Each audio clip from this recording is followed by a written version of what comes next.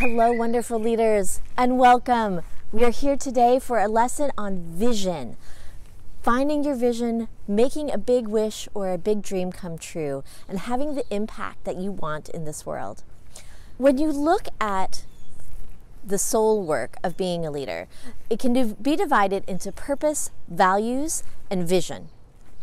I think about values as the who you are as a leader. It's the who, it's how you show up, what's most important to you, and the core part of your identity.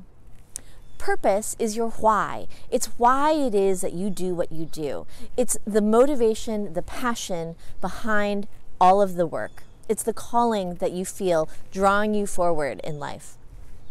Vision is the what. It is what you wish to accomplish, how it is that you wish to do it. It's your goals and dreams and wishes. Those three together purpose, values, and vision it's the who, why, and what of who you are as a leader.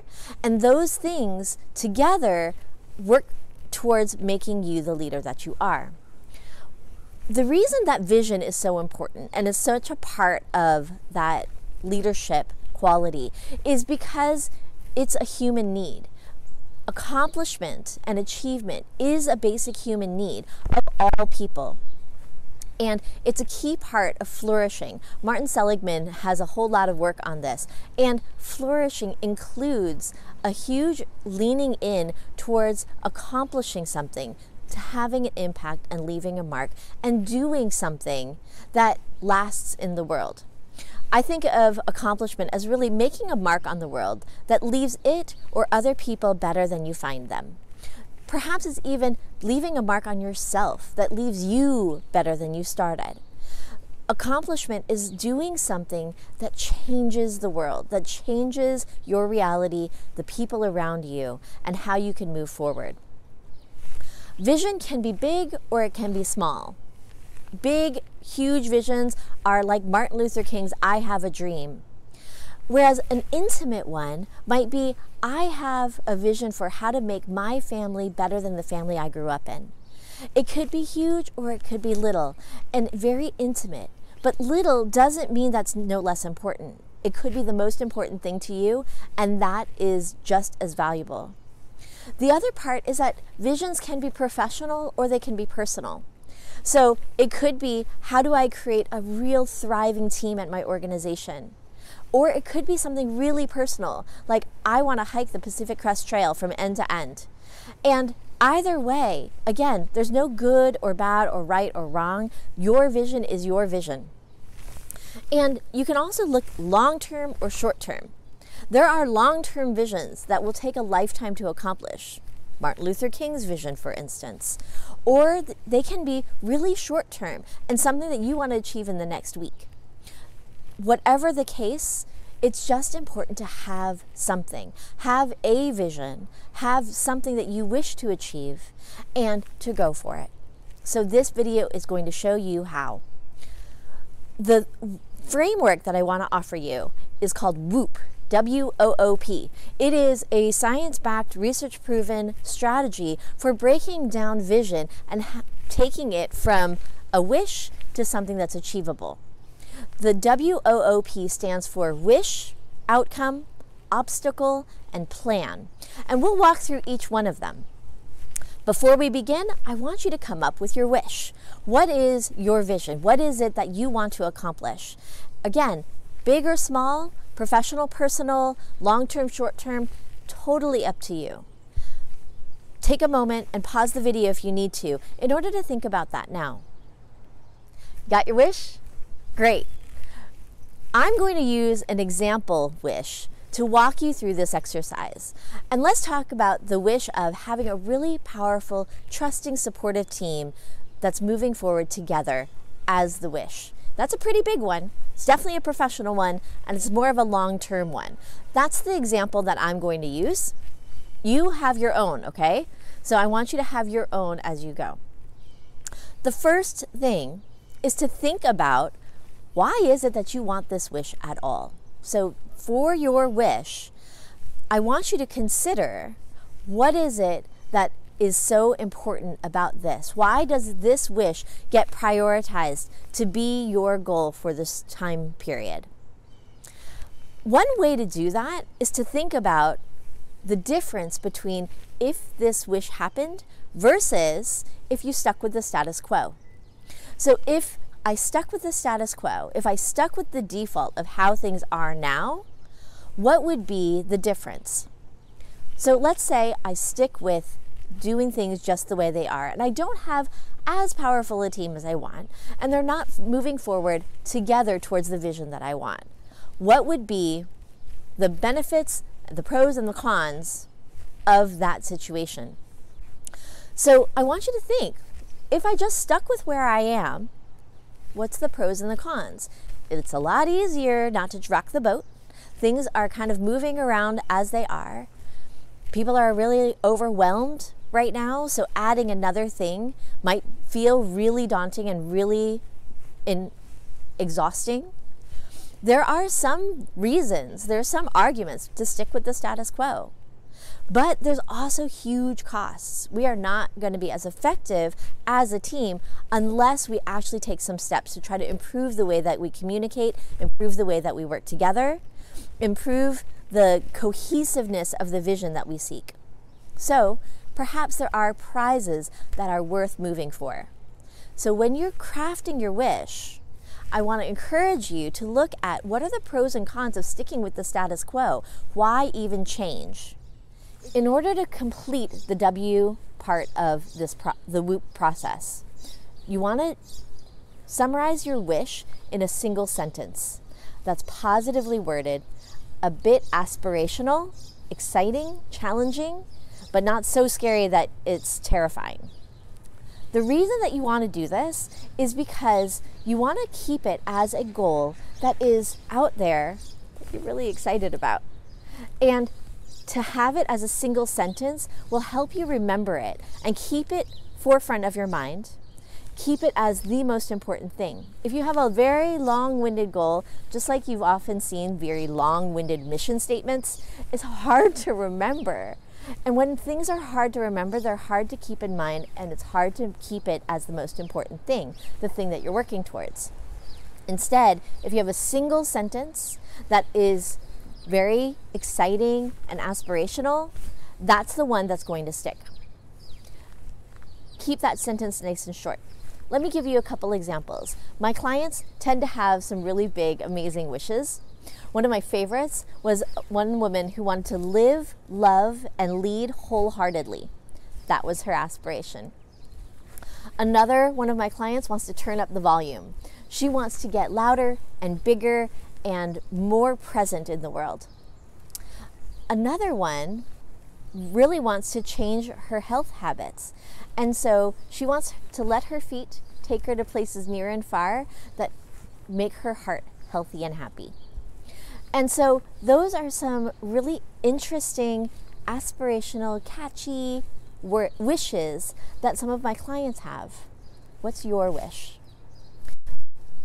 Take a moment if you can, go ahead and pause the video if you want, to write down a couple ways of rephrasing your wish in a way that's a single sentence, aspirational, and memorable. Keep it memorable for you. It doesn't have to make any sense to anyone else. Make sure that it makes sense for you. Excellent. Now we're going to go on to the outcome. This part is really dreaming. It's really painting a picture in your mind of the outcome you want to achieve. And it doesn't mean that this is the only possible outcome that's going to happen. Obviously, things change along the road, and things don't necessarily look the way that we pictured it when we finish.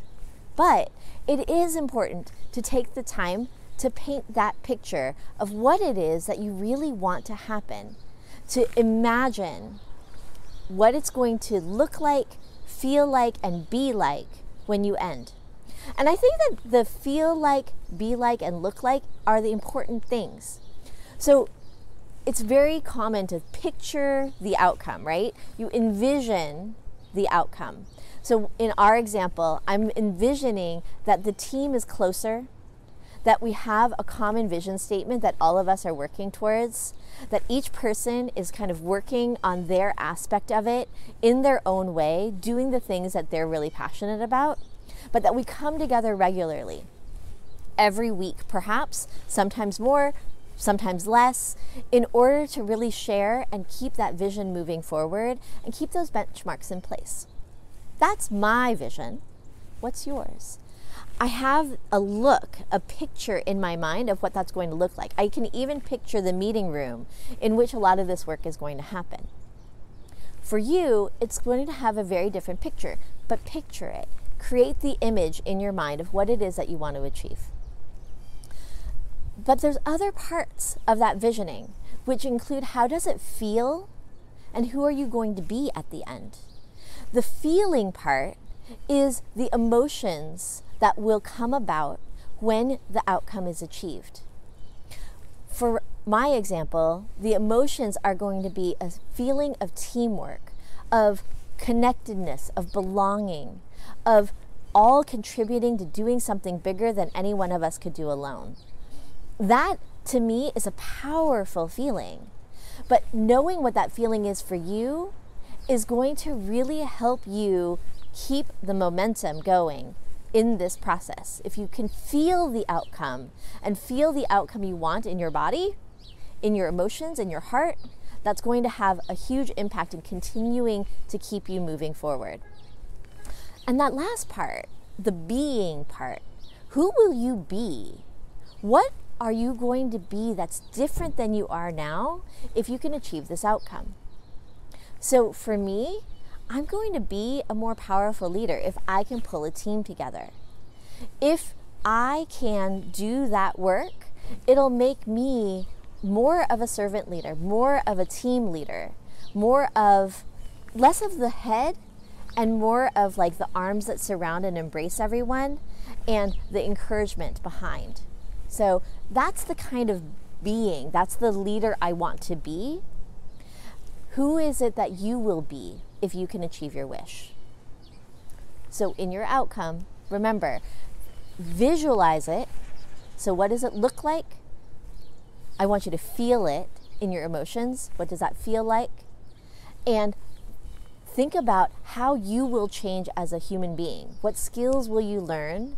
And who will you be at the end? That's the outcome part. The next O in WOOP stands for obstacle. What's in the way? What are the roadblocks outside and internally that are getting in the way of you achieving your wish? And every wish is going to have its obstacles, some that we know ahead of time, and some that just come up in the course of life. So take a moment to think about what are the external and internal obstacles that are going to get in your way. I promise that a lot of the upcoming videos are going to help you with the internal obstacles. We're going to have a whole video. The next one that's coming up is going to be about mindset and how we get in our own way. And later on in the body part, we're going to be thinking about how our emotions get in our way. Things like fear and anxiety and anger. How do those emotions get in our way? But you can still, right now, name a lot of those, I'm sure. For many of us, there's a big feeling of imposter syndrome that I'm taking on something that's bigger than I can manage, or maybe that I'm not good enough, or that I don't have the skills enough to take on this challenge. That's some of the internal things. You can also think about what are the external things? What are the external obstacles? People and environmental changes and legislative demands from the top or pressures from your boss. Those are going to be obstacles. There's going to be things outside of you that are going to be obstacles in the way. What are those? Name them. And so we come to the final part of WOOP plan. If there's an obstacle, what is your plan? The idea here isn't necessarily to make a plan to get you to the end post. We now recognize that that kind of planning, where you have a plan from start to finish, is really, really difficult in times of great uncertainty and times of great change, which is kind of the reality of the world nowadays. I know that well before the pandemic, I was one of those people who always wanted to have a clear plan from start to finish. And if I couldn't use my plan A, I would have a plan B, C, and D. I always felt a little bit uncertain unless I had a roadmap. In the case of WOOP, the way that they suggest making a plan isn't to have a clear and final roadmap that you follow from all the way from start to finish. That is helpful and useful, and I encourage you to have one if you wish. But the most important part of the WOOP process is to make a plan to overcome the obstacles that you can foresee, as well as the ones that you may not be able to foresee. In the obstacle portion, you looked at some of the external and internal obstacles that you might face. If you come across one of those obstacles, what is your plan to overcome that? In some ways, it's kind of like you have a plan for where you want to go. You know that along the way, you're going to come to this certain crossroads where there's going to be a challenge. What do you do to get around that challenge? How will you overcome those internal things? Say, I have got a little bit of imposter syndrome going on. How will I overcome that? Or if you know that there's going to be some external challenges, like a boss who may not buy in, what is the plan to overcome that? It's really about overcoming obstacles one by one and knowing how to flow around them when you get to them. It's the idea of I've always been able to overcome challenges in the past. What are the tools and resources that I have in my backpack that will allow me to move forward? So that is the part of planning. And I strongly encourage you to think about planning that way. It's more of a step by step idea rather than a start to finish idea. And that really helps with navigating uncertainty and change because change is going to happen. Things are going to blow up. Never, not everything is always going to go according to plan. And trying to force it to be that way is not useful. Instead, keep a bit of a flexibility in navigating your plan.